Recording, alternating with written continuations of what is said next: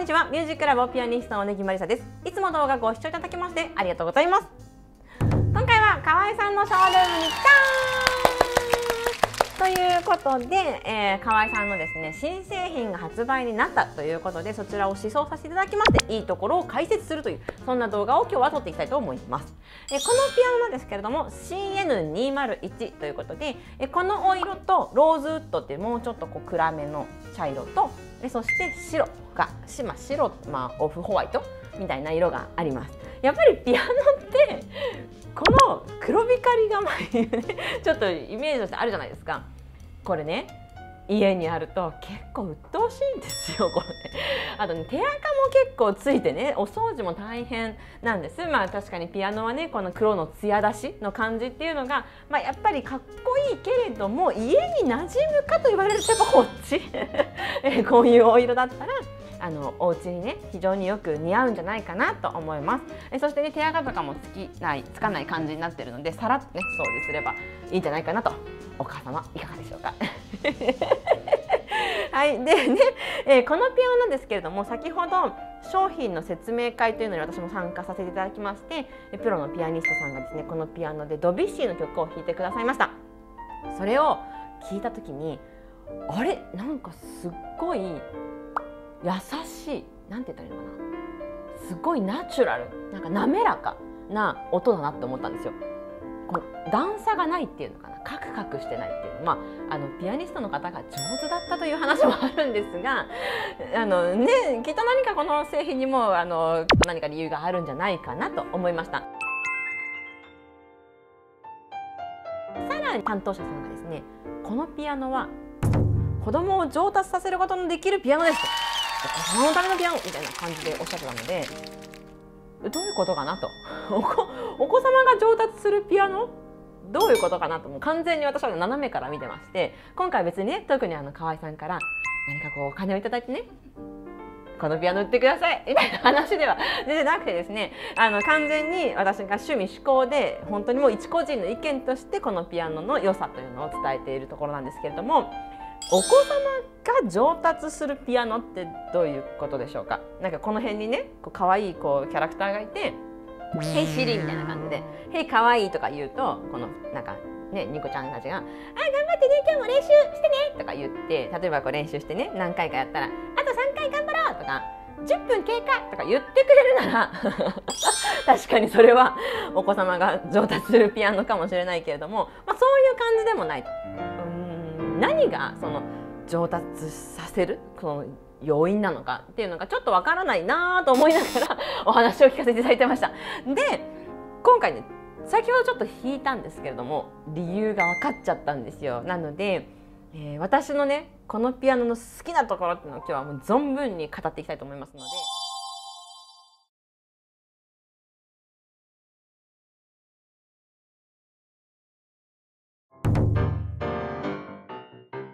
まずはちょっと激しい曲からいってみたいと思います。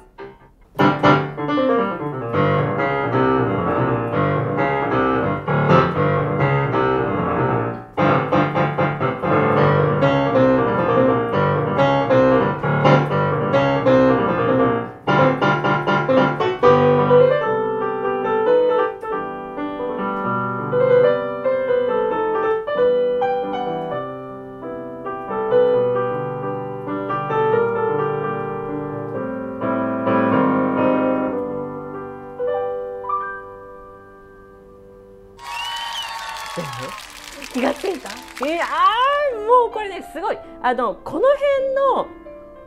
音が滑らかバターみたいもうなんかニューンってなるんですよ何がそういうなんかもう全然わかんないですよね、えーと、何がそのすごいかっていうとこのニュアンスがつけやすいんですね。レドセラソっていうふうにこうこういうフレーズを作りたい。すごく反応してくれてるんです。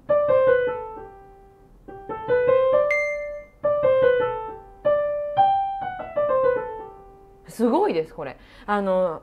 なんていうのかな音の大きさっていうもののコントロールのしやすさっていうんですね。やっぱ滑らかってどういうことかっていうと音の大きさがこうすごく順々に変わっていくから滑らかにフレーズを作ることができるわけですけどそれが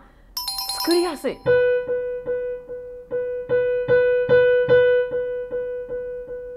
でなのであのメロディーがすごく綺麗に歌うことができます。確かにこれは優しいフレーズっていうのを作ることを教えてくれるかな。このピアノが。ありがとう。教えてくれて。私も今すごい勉強になった。やっぱりピアノのフレーズってこういう感じだよねっていうのを。ピアノがすごく教えてくれますね。なのでこの辺で弾くようなあの曲を練習すると多分すごい綺麗なはず。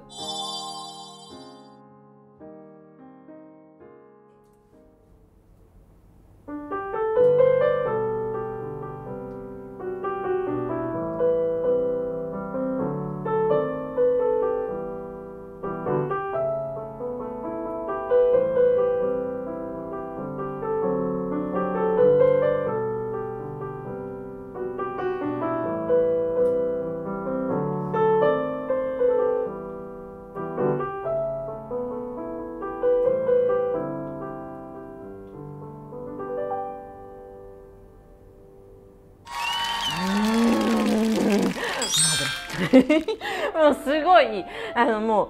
この辺のこんな音色出せるんだ自分っていう感じなんですよね。この感動をどう伝えたらいいんだろうか。なので皆さんぜひあのショールームなどに行ってですねあの楽器店さん楽器店さんに行ってこの辺りのメロディーを優しく綺麗に弾いてみてください。ピアノが教えてくれるはずです。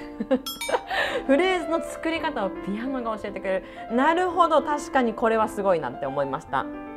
で河合さんのピアノってやっぱり音色が好きという方とても多くいらっしゃると思います。なのでその音色っていうところに関してこのピアノのこの優しさっていうのはやっぱり好きな方多いんじゃないかなっていうふうに思いますね。なのであの演奏する曲が例えばうんそれそれそれこそドビュッシーとかうんモーツァルト、まあ、ショパンもそうですかねというような優しい感じの曲がお好きな方は是非このピアノを試してみる価値があるかなと思います。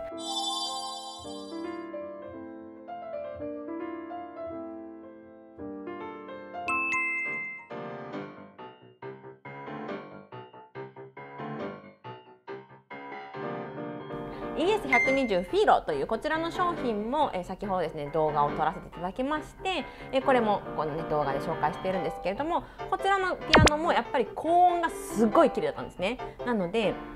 高音このピアノもやっぱりすごいのかということを検証したいと思います。それでは行ってみましょう。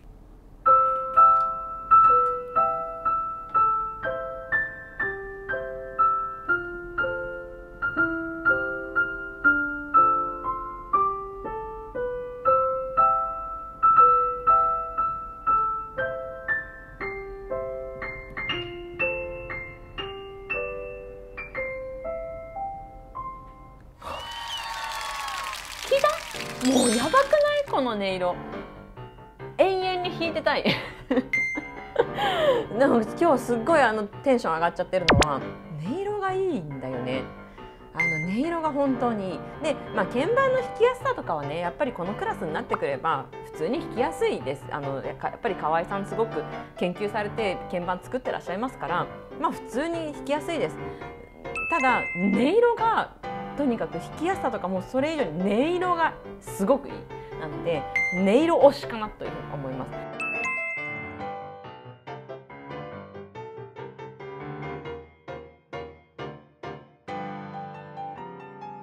えこれがお子様におすすめな理由っていうのは耳を育てるってことなのかなって思いますね。こういうピアノで練習することで優しい音とか表現豊か歌っている表情豊かなピアノの音っていうものを勉強できるのかなっていうことが私の感想です。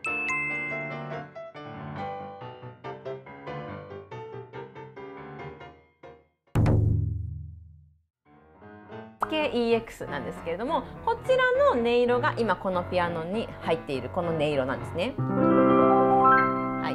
は はい、じゃあ、え、こちらのグランドピアノの、ね、音色だっていうことなのでちょっとこう検証してみたいと思います。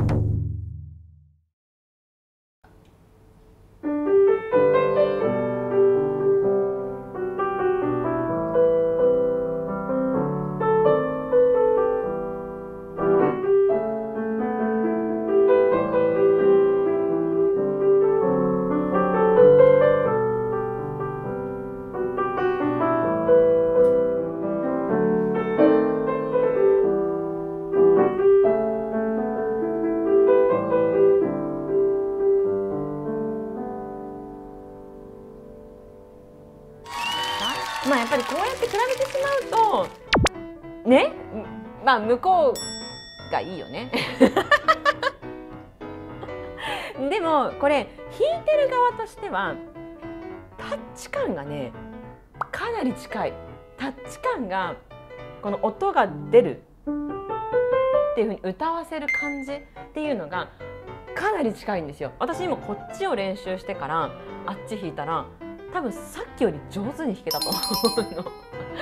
なのであすごいこれ面白いなと思いました。電子ピアノで練習をしてそれでこう進化していくっていうのかな。こう楽器を乗り換えるっていうのかな。っていう練習の仕方もあるんだなっていうことを今回は発見しました。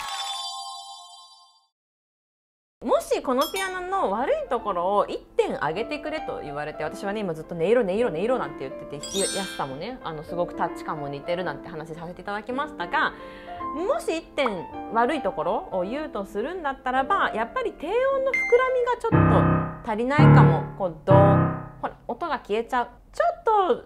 あんまり膨らまないなっていうなんかすぐな音がなくなっちゃうなっていう感じがします。ただこの辺ってあのあんまり使わないですね最初のうちね。だからしかもなんかこんなねなんかこういうこんな曲ね初めからやらないと思うのでこの辺りのやっぱりその音色の美しさみたいなところはやっぱりすごくいいピアノなんじゃないかなと思います。なのでお子様が始める時にいいピアノ本当にその通りだと思いました。是非皆さん試してみてください。それではまた次回の動画でお会いしましょう。バイバイ。